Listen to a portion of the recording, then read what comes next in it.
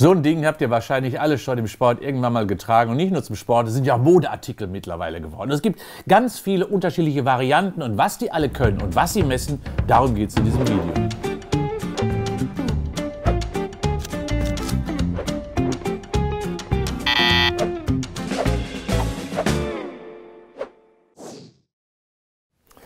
Wearables, was bringen sie eigentlich? Wearables sind ja Gegenstände, die man am oder auf dem Körper trägt und die Werte von mir oder von uns erfassen. Körperliche Werte, physiologische Parameter, um daraus Schlüsse zu ziehen, möglicherweise, ja, wie tickt mein Körper, was hat er gerade für eine Belastung, wie ist seine Leistungsfähigkeit, wie ist seine Regenerationsfähigkeit. Also es wird uns ja unheimlich viel versprochen. Und die Frage stellt sich natürlich, was bringen diese Dinger denn wirklich? Es gibt sie in unterschiedlichen Qualitäten und Formen. Die klassische Form ist ja die, die ich gerade fast in der Hand habe. Das gibt es ja schon seit vielen, vielen Jahrzehnten. Das ist die Uhr, die sogenannte Fitnessuhr, auch Fitness-Tracker. Es begann ja äh, vor fast 60 Jahren mit den ersten Schrittmessern, die so auf den Markt kamen, damals zu Olympischen Spielen in Tokio. Dann ging es immer weiter und mittlerweile haben wir ja eine ganz hohe maximale Digitalisierung.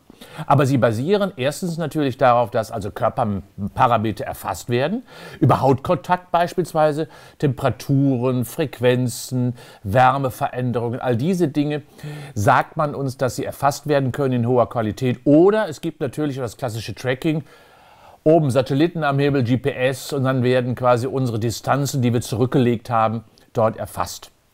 Und da bekomme ich immer ganz viele Informationen auch von Menschen, die mir immer mitteilen wollen, wie gut sie unterwegs war am Wochenende mit dem Rennrad, mit dem auf der Joggingstrecke, weil das doch relativ leicht zu kommunizieren ist und man schon auch schön dokumentieren kann. Hör mal, das habe ich getan. Und daran erkennt man auch schon so ein bisschen, was dahinter steckt. Man misst sich selber. Man bekommt Informationen über sich selber.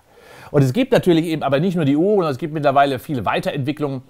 Äh, man kann mittlerweile Dinge auf dem Körper tragen. Ich weiß nicht, ob ihr schon gesehen habt, die Fußballprofis laufen manchmal mit so Rucksäcken durch die Gegend.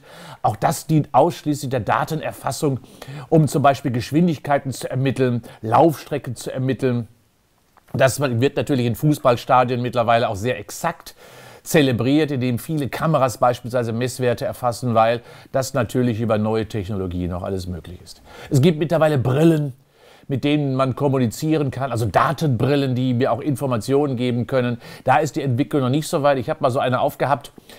Muss man sich dran gewöhnen. Ähm, wahrscheinlich sind Brillenträger da eher dran gewöhnen als ich, aber auf der anderen Seite ja äh, ist es schon etwas anderes, dort in der sportlichen Aktivität Informationen plötzlich zu bekommen, auf diese Art und Weise, als das, was mir bisher präsent war. Also, die Industrie arbeitet an neuen Konzepten, an neuen Strategien, an neuen Tools, um Körperinformationen zu geben, physiologische Informationen uns zu geben. Das ist natürlich nicht falsch, denn es werden Parameter erhoben wie Herzfrequenz, wie Laufstrecke, wie EKG-genaue Signale mittlerweile sogar. Und es gibt auch das Thema Sauerstoffsättigung. Habt ihr ja vielleicht auch schon mal gehört, dass mir Informationen dazu gegeben haben, wo liegt eigentlich die Sättigung meines Blutes mit Sauerstoff. Und das wird anhand von ja, photoelektrischer Analyse quasi des Blutes über die Haut quasi vorgenommen. Hm. Wie exakt es ist, das bezweifle ich immer noch, äh, wenn man gerade den Golden Standards der Medizin dort mit einbezieht. Ähm, ich glaube, da haben diese einfachen Tools einfach große Schwächen. Gerade wenn man sehr tief in den Körper hineinragt, weil alles andere wäre auch viel zu teuer. Äh, und vor allen Dingen, ja, wäre das dann sehr messtechnisch auf, äh, aufwendig und das können in der Regel richtig meines Erachtens aktuell nur Labore. Wo es mal einfach hin, äh, hinfahren, hinführen wird, das kann ich auch noch nicht sagen, aber wahrscheinlich wird es weitergehen in der Entwicklung.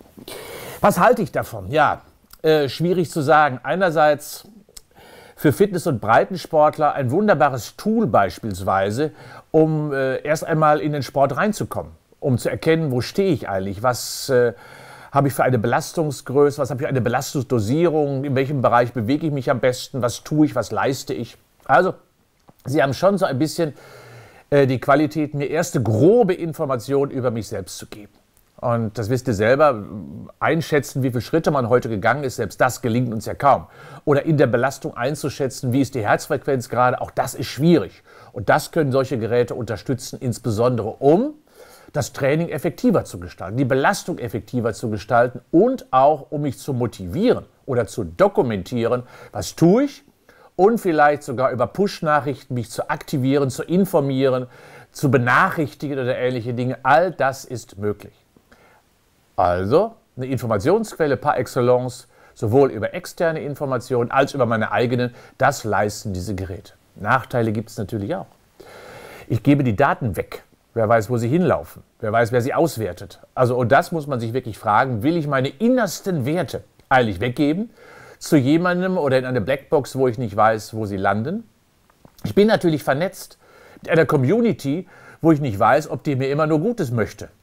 Ob sie vielleicht diesen Zugang zu mir nicht auch missbrauchen oder nutzen, um mir irgendwelche Software oder Hardware, äh, Software aufzuoktroyieren, die mir vielleicht dann doch die man auch unter dem Aspekt Missbrauch möglicherweise artikulieren könnte. Also natürlich ist Vorsicht geboten bei solchen Dingen, wenn man solche ganz persönlichen Daten wirklich preisgibt. Und wir wissen ja über Kontodaten, da sind wir sensibel, aber genauso sollten wir mit unseren gesundheitlichen Parametern auch umgehen, denn viele Industrie Organisationen haben großes Interesse daran, natürlich, wird immer so schön gesagt, Personalisierung des Angebotes, ja, an eure Daten und mit euren Daten etwas zu tun. Also, Variables super, äh, insbesondere für ambitionierte Leistungssportler oder Breitensportler, die brauchen das Spitzensportler sowieso. Da ist Diagnostik und Trainingssteuerung natürlich das A und O. Für Anfänger und Anfängerinnen sehe ich es insbesondere unter dem Aspekt der Motivation, der beginnenden Eichung. Aber eins darf man nicht tun, die eigene Körperwahrnehmung verlieren. Und umso wichtiger ist es hier, eine Kombination herzustellen zwischen eigenen Empfindungen, der Belastbarkeit, der Form, der der Ausgangssituation gerade und das zu verbinden natürlich dann mit Daten, ich glaube, da macht das Sinn. Aber immer achtet auf euren Körper, denn Achtsamkeit kann man nicht an eine Apparatur oder ein Messgerät abgeben.